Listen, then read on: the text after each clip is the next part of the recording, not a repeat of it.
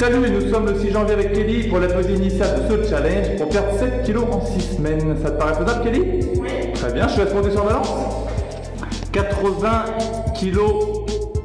Salut à tous, nous sommes le 17 février avec Kelly qui fait sa pesée finale du challenge 7 kg en 6 semaines.